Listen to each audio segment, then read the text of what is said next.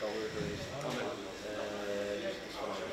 Ik ben te gast bij eh, de Keuringbond en eh, wij willen graag u informeren over de, de komende toernooi die op de kalender staat Met name het WK, waar dit team voor het eerst in een hele lange tijd aan deel gaat nemen.